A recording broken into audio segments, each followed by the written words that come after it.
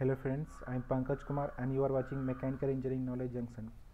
In this tutorial I am going to show you how to analyze a structure or stress in ANSYS Mechanical APDL. Before starting this tutorial I want to say that if you like this video please hit like and subscribe button and don't forget to share this video with your friends and family and also leave your comments and suggestions in the comment section. So this is our structure which we want to go into which we are going to analyze in ANSYS Mechanical APDL 16.0 consider point 1 as origin and we are going to draw this structure in the ANSYS Mechanical. So we have to find first of all the coordinates of each and every point. So point 1 is 0 0 or for point 2 if we draw the perpendicular from point 2 downward then we can find the x distance as 1.8 meter and y distance is given at 3.118 meter. Similarly we can find the coordinates of each and every point given in the question. So let's draw this problem in ANSYS mechanical APDL so open ANSYS mechanical APDL click on preferences click on structural then click ok. Now click on preprocessor then click on element type then click on add edit delete then click on add. Now select link and 3d finite stn 180 this is the save function. Now click ok. Close this. Minimize element type and then go to real constant. Click on add edit delete. Click on add. Click on ok. Now give the cross section area as 4 500 mm square. Now click ok and close this window. Now also minimize the real constant. Click on material properties. Click on material models. Click on structural then click on linear then click on elastic then click on isotropic and give the value of Young's modulus as 2e5 so 2e5 is Young's modulus and Poisson's ratio is 0.33 now click ok and close this window and minimize the material property. Go to modeling then create click on create. You can solve this problem by creating key points as well as nodes. If you create key point then you will have to mesh it. So i am going to create nodes so i am going to create it with nodes so we can't we do not have to mesh it. So click on nodes then click on inactive coordinate system. If the boxes are empty and you click on apply then it will automatically take the origin position. So click on apply. So point 1 is created. Now point for point 2 keep the x and y coordinate. So x coordinate is 1800 mm and i'm going to input the length in mm but the question but the length here is given in meter. So if you solve the question in ANSYS mechanical APDL then give the length in mm. So i'm going to give x coordinate as 1800 mm and y coordinate as 3118 for point 2 now click apply. 4.3 point is as 3600 is x coordinate and y coordinate is 0 click apply. For point 4 5400 as x coordinate and y coordinate is at 3118 now click apply. Uh, for point 5th 7200 mm as x coordinate y coordinate is 0 now click apply. And for point 6 x coordinate is at 900 9000 mm and y coordinate is at 3118 mm. Now click apply and the last coordinate is that is seventh coordinate is x coordinate as 10800 and y coordinate at 0 now click ok don't click on apply. If you click on apply then will double point will be created. So click ok. Thus we have got the seven points. Now we have to join each and every point. Join each and every node. So minimize nodes and then click on element. Then click on auto numbered. Then click on through nodes now select the nodes which you want to join. So select node 1 and 2 node and 3 and then click apply. 3 and 4 3 and 5 then click apply. 5 and 7 then click apply. 5 and 7 and 6 then click apply. 6 and 4 then click apply. And 4 and 2 then click apply. 1 and 2 click apply. Now if you see the question there is uh, 2 3 point connection and uh, 3 4 5 6 uh, are also connected. So connect this point. Select 2 3 click apply. 3 4 click apply. 4 5 click apply. And 5 6 click apply. Now click on ok and then minimize this.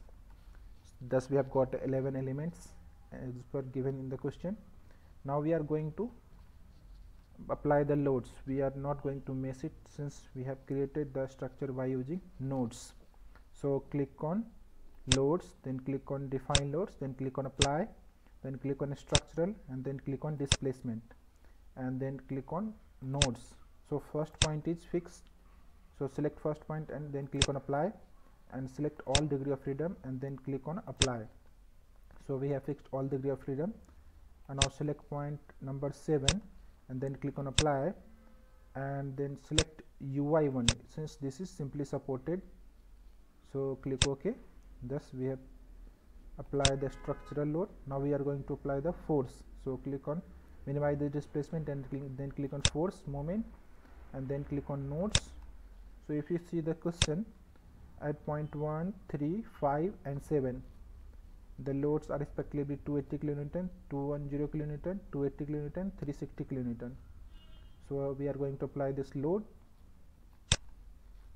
Select point 1 and then click apply and then select here fy and enter the value of load as minus 280 kilonewton that is 280,000 newton.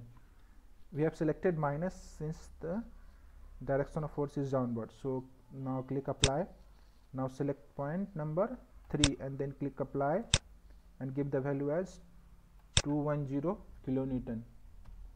And then click apply. And the point 5 is 280 kilonewton and point 7 is 380 kilonewton 360 kilonewton.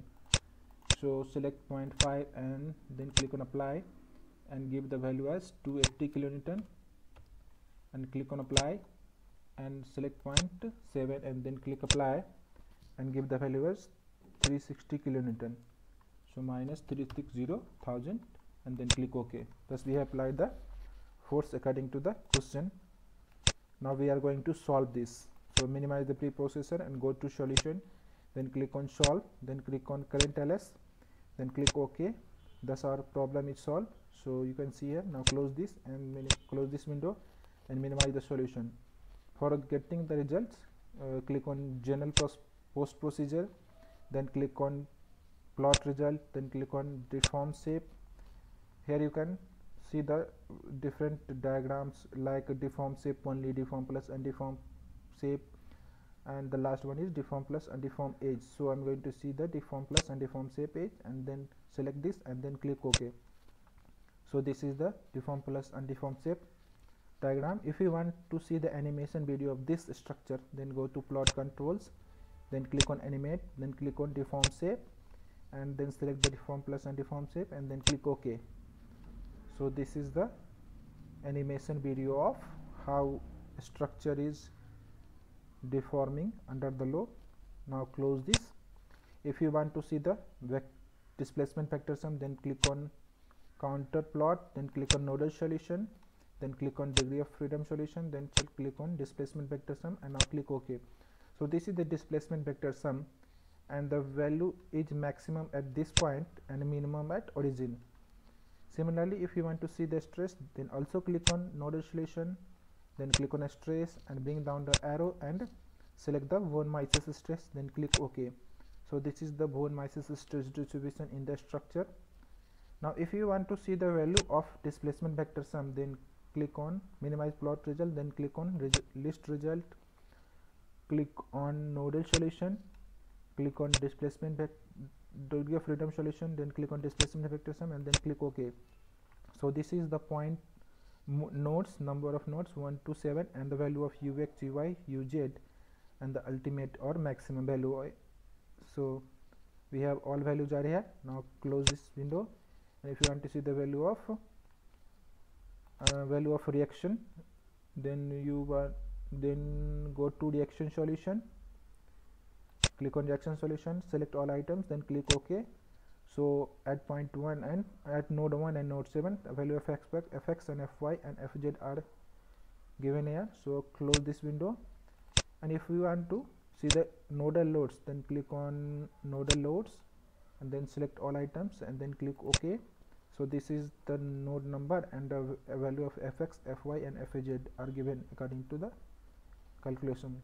Similarly you can see the various result of various parameters under the general post procedure by selecting the particular uh, parameters. So thus we can analyze the structure in ANSYS mechanical APDL thank you for watching. Please like share and subscribe my channel. Bye bye